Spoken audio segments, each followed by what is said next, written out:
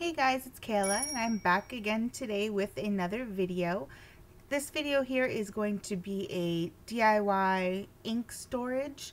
I've seen a lot of pins on Pinterest about it and I've seen quite a few videos actually on YouTube about it. However, I had a very hard time finding measurements that other people had used. Um, myself, I love building things, whether it's out of wood or in this case foam board, and doing the measurements and the calculations, as nerdy as that is, I like designing. So I made up my own design, and I will include all the measurements that I used in the description box below. I decided to make each one of my storage cubbies in the unit three and a half by three and a half inches in, in width and depth and about an inch high. So that way there, my regular ink pads would fit in very easily and they would hang out a little, little bit just so I could get a grab on them. And they were also wide enough for my distress inks to go in. And I just put a little block at the back of each cubby that I put a distress ink in. So that's the only measurement that's going to fluctuate is how many of those you need for how many distress inks you have. However, I mean, if you're going to make one for just distress inks, well then you'd put one of these little blocks at the back of each of those. Or you could even take and make it narrower. Every measurement that I give that was um, three and a half, you could cut it down to two and three quarters um, because each of the little stubs that I put in at the back were three quarters of an inch. So that math, quick math up top of my head, it sounds right. So I'll double check it and I'll put the notes in the description box either way. So my entire unit is going to measure about 15 and a quarter inches tall and about an 11 and a half inches wide. And that gives me space for three, three and a half inch gaps. At the very top, I'm going to do them, instead of being one inch high, I'm going to do them two inches high. So I can put in little extras. I think I'm going to use um, some of my odd inks that I don't really use. I think they're called Studio G something um, that I got at Michael's a couple of years ago that I probably should just toss. Um, my blending sponges for my distressing, such like that.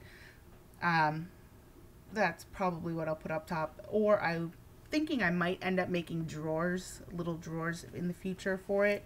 Um, I'm not sure, but either way, I have quite a few of this foam board left over. Um, the reason I hadn't done it before was because I couldn't find foam board in my area. And the other day I just happened to be going to the pet store and I went into the Great Canadian Dollar store next door and I was looking around at all the Valentine stuff because I know Valentine's Day is coming up in about, a, well, a few weeks.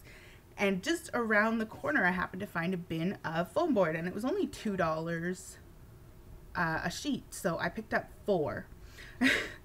slightly overkill, but go big or go home. So now I'm going to make some other things as well. I think I'm going to make some little shelves for my stickles so that they're not hanging upside down from my weird shelf thing in my craft room. To understand, you'd have to see it. I'll have to show it at some point, I guess.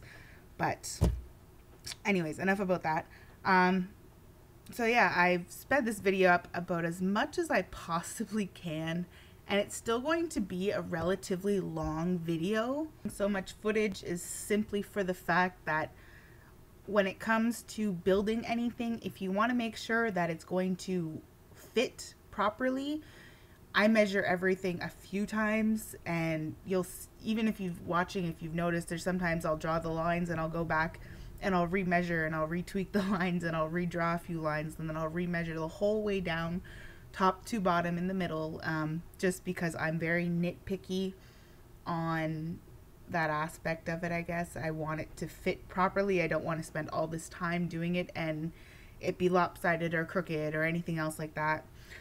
Um, so the only other thing beside the foam board and the ruler obviously that you would need I had a cutting mat and I don't have like a real a real cutting mat. I have a kitchen cutting mat that I got at the dollar store also um, just to protect my table because I don't want to chop up my table. And then the other thing would be an X-Acto knife or they do make foam board cutters. Um, I seen another girl had used this magical contraption and frankly I was in too much of a rush to try and build this to order it in and wait. So that I'm just using the X-Acto knife. So some of the lines don't come out exactly straight up and down, but that's okay because I'm going to use a hot glue gun to glue everything together. I used it like a welding machine basically and I it ain't going nowhere for a while. so the X-Acto knife, the ruler, the cutting mat, um, hot glue gun, I used a, it's from AdTech, high temp glue gun, uh, just whatever glue gun you have, it's craft. So as I was putting it together, you'll see it when it gets to that part of the video. Um, for, to make sure that my gaps or my wedges were even, I had a little piece that I cut to the right size to three and a half inches wide that it's another piece of the assembly, but I just stuck it there and I stuck the upwards divider, the little divider between the shelves right flush against it to glue it into place. That way each time I knew they were going to be in the right place. At the end, there's a few of them that are a little a little wonky, but it's still very sturdy. I'm actually quite surprised at how sturdy it was. I think it took me about four hours, maybe, from the time I put the stuff on the table to the time it was fully assembled. Mind you, that was also with taking care of a baby and taking breaks and answering I think I answered two phone calls while I was making this so not too bad. So anyways um I guess I'll explain my measurements since we're we're watching.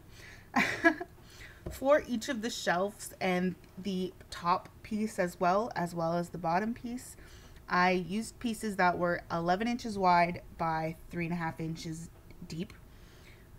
I used 20 pieces of the dividers for the middle. Um, they were each one inch high by three and a half inches long.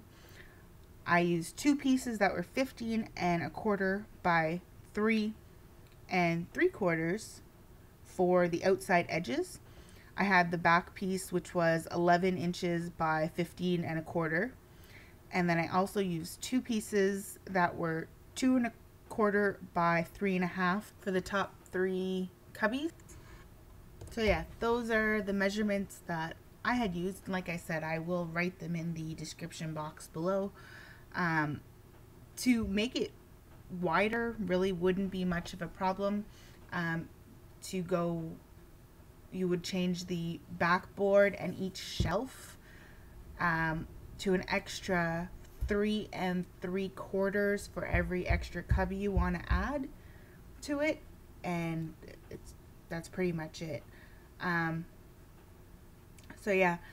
Now basically I just finished up the assembly and I came back to it in my craft room. Um, I did leave the little quarter inch gap at the bottom so that I could slide my acrylic block underneath um, as well as my mini one. And you'll see here the little um, blocks I put at the back. They're, they're nothing fancy. It's just shoved back there and glued in place so that the distress, dis, woo, distress inks don't slide all the way back. Like I said, I put uh, my little sponges up top. I use the middle row for my Hero Arts and my Memento, and then I also put Memento Luxe in there after, and pigment inks and I used my rain inks on one side, my Distress inks on the other side. I don't have a fairly large ink collection, so it's not so bad. Um, but yeah, anywho, that's it. Finished product, ready to go, ready to use, test it out. We'll see how long it lasts, and I'll update that in the future.